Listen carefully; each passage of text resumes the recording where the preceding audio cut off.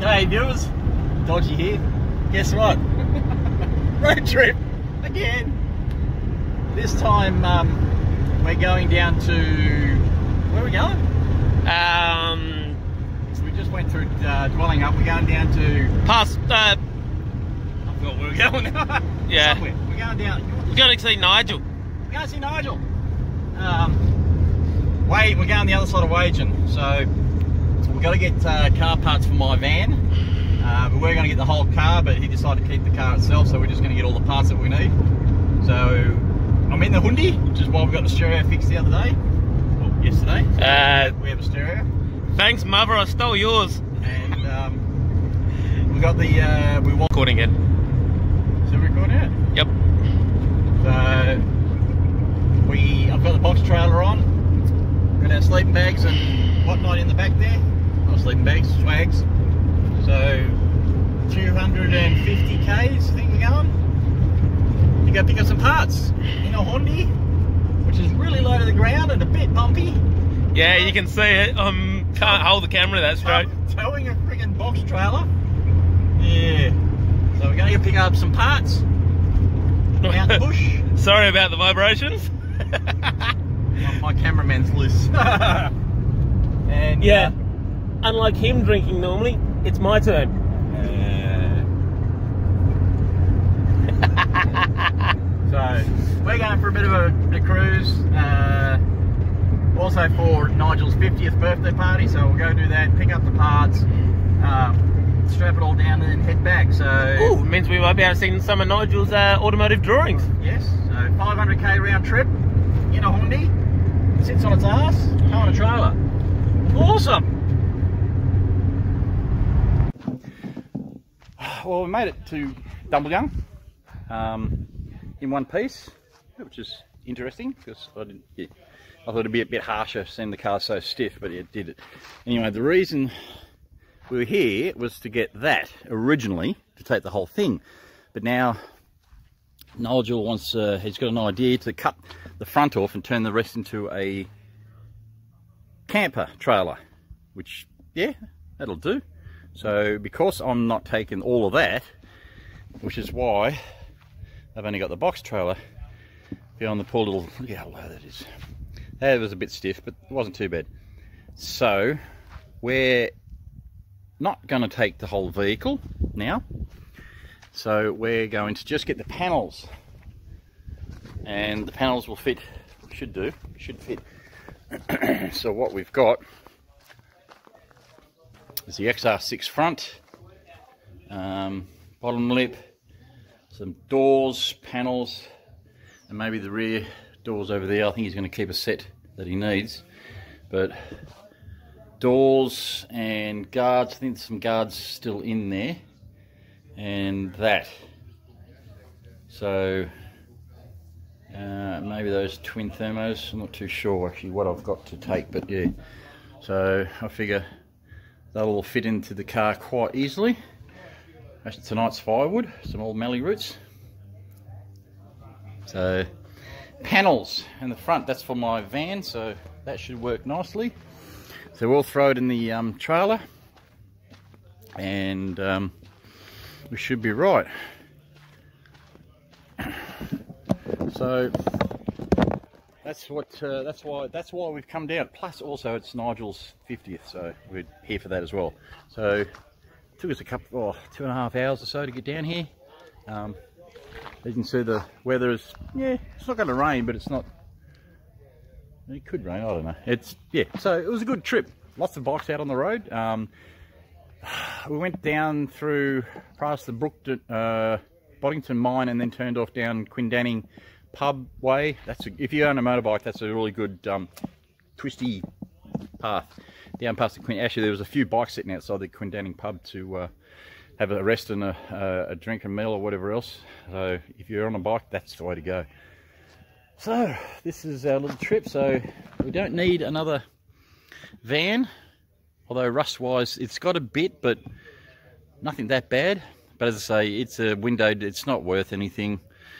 So he's just going to cut it up and turn it into a, a camper type trailer. Maybe I might have to come down and give him a hand, and uh, we'll do that. But I'm quite surprised. The old girl, half a tank from Perth to here, it's about 250 kilometres. So that was quite good. And nothing fell out. This is Jono's, I don't know what it is, his Betty blanket, but his dog's and it stinks like shit. So, but everything kind of fit and I'm ready for uh, drink responsibly, blah, blah, blah. Um, it's party time.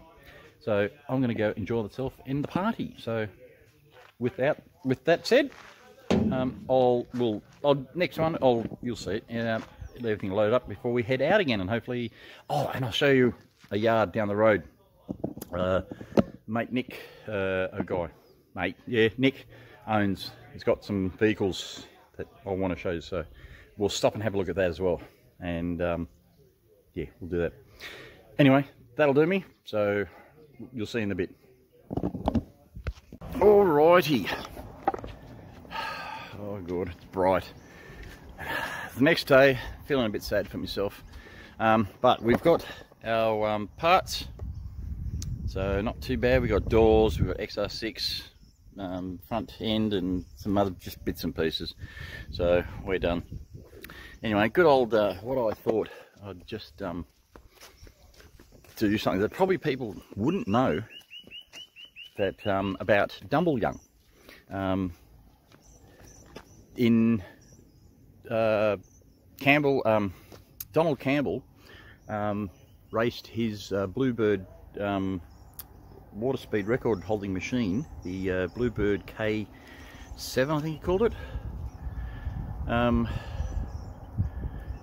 yeah, he he actually set the a world water speed record here in Young. Um, apparently he was going to do it over east at Lake Eyre or something, and the something it would, couldn't go through. The water was too low or something like that. So he ended up coming to South uh, Western Australia to Lake um, Dumbleyung. And if you Google image Lake Dumbleyung, you'll see why. Uh, he actually set the world's record here in 1964. Um, now, luckily, it's already printed here because I actually memorised it. But he actually did uh, on the 31st of um, 31st of December 1964. He set uh, the uh, the land, uh, the land water speed record of 276.33 miles an hour, which is 444.71 or 0.66, depending on what you look at, uh, kilometres. So 444 and a bit kilometres an hour. He set the, the record. He later broke it, um, and then he broke it or tried to break it again over in England, and that's when the boat flipped and he died. Uh, but he actually came to Perth in the middle of the southwest here to Lake Dumbleyung and actually set the world record. Um, and as it says there, set it both. So that's the record there. So we did land as well in Lake Eyre, then did Lake uh, Dumbleyung. There you go, 276.33. Uh, and of course, Ken Warby has it now. So, and uh, last night we were down at the um, the pub, which kind of see just over there in the background. Awesome, awesome little pub by the way. If you're ever out this way, um, that's it, just over there. So uh, it's on the on the other side of the train tracks. Awesome little pub. We went there last night and uh, had a few drinks, and there's band playing and everything. So awesome night. Uh, most people just run through here, so if you need to stay somewhere, this is pretty good. But what they've got here is a replica of the actual Bluebird. Oh, and just over the road there, at the community resource, they've got a bust of his head in the thing, which is a strange thing. Uh, so here we have a replica of K7. So this is in the main main street town. You can't miss it really. So yeah, they've actually got a replica of it here in town of his, uh, and so that put Dumbleyung basically on the map. So there's the the course. So we're just past it. Of course, you've got to go back out of town to do it. Um, 13 k's long, six and a half wide, 52. Um, yeah, so that's his speed course. Went straight down the guts of it. So,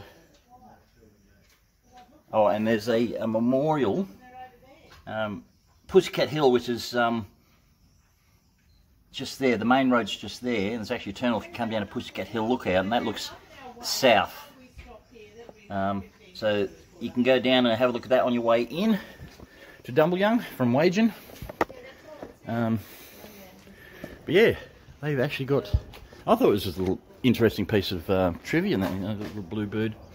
Because um, in at the pub, there's a heap of photos, like um, A2 size photos, like oh, probably about that size, uh, maybe a bit bigger, all inside the pub where the band's playing, where, the, where you sit down to eat. There's like photos all over of the day of him, his the vehicle, crew, everything else. So if you want to see something historical, go down there uh, and check out the pub, have a beer, check out all the photos. It's pretty, pretty bloody awesome.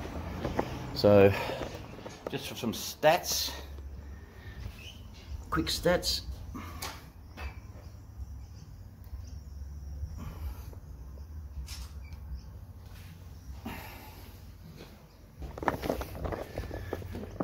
So here we go.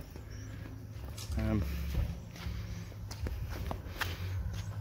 I thought it was pretty good. This just you know pretty interesting considering um, you know you're in the middle of the southwest of um, WA uh, in Dumbleyung between Wagin and Kukerin and Kukerin in a couple of weeks time is the Kukerin Creek Bed and Burnout competition. That's pretty good. I went there a few times.